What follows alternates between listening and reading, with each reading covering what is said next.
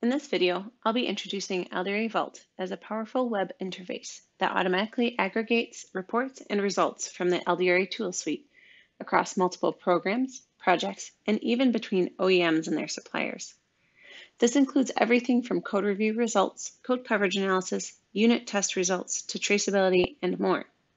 These capabilities speed up and reduce the cost of meeting compliance goals. LDRA Vault organizes, tallies, and stores verification artifacts so I can easily enhance, action, and improve my test process. Today, I'll focus specifically on the code review and code coverage portions of LDRA Vault. Here on the LDRA Vault landing page, you'll see a list of all projects I have access to. Each project contains components or sub-projects. This helps in being able to manage and run multiple projects so that I can meet single or multiple test or certification goals simultaneously. More specifically, ISO 26262 compliance for automotive certification, IEC 62443 for security standards, or DO 178C levels A through E if you need to meet the exacting standards for avionics or military software. Let's dive into the tunnel lighting system example to explore some of the results. Tunnel is an example of a potential safety critical embedded application that requires rigorous testing to ensure standards are met for safety, in this case ISO 26262, and that the embedded connected application is safe from security vulnerabilities. In this project, we have multiple components. As you can see, there have been 28 uploads to the primary component for this project. The component overview page gives us a quick summary of the project's current state. We can see how many static analysis violations there are, presented with the heat map profile highlighting files with the most violations. Additionally, there's a summary of coverage data showcasing files with the least coverage.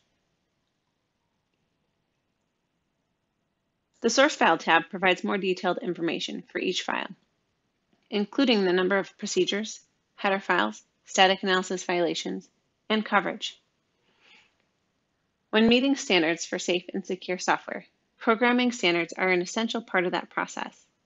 LDRA Vault stores and collates LDRA's class-leading standards checking for MISRA, CERT, and CWE, a requirement for any certification program and mandated by the government.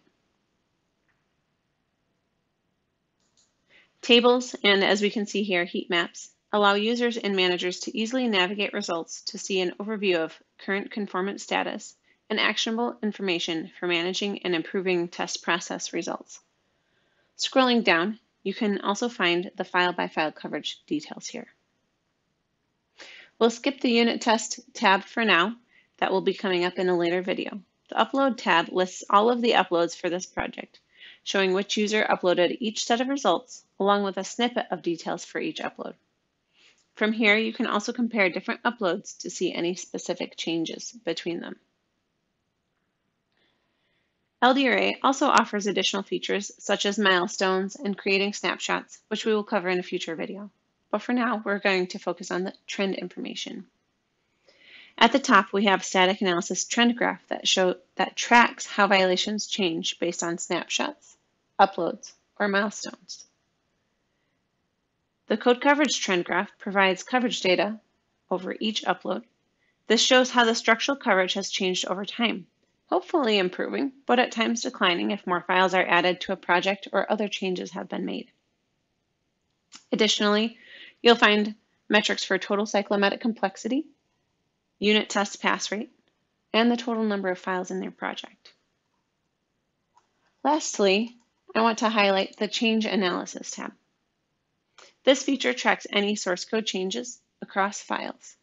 It lists all associated sequences that require regression new sequences, impacted test cases, new files if any have been added to your project, and a detail of any changed source files, specifically what has changed within those source file results. So in this case, there's one less static analysis violation with the latest change.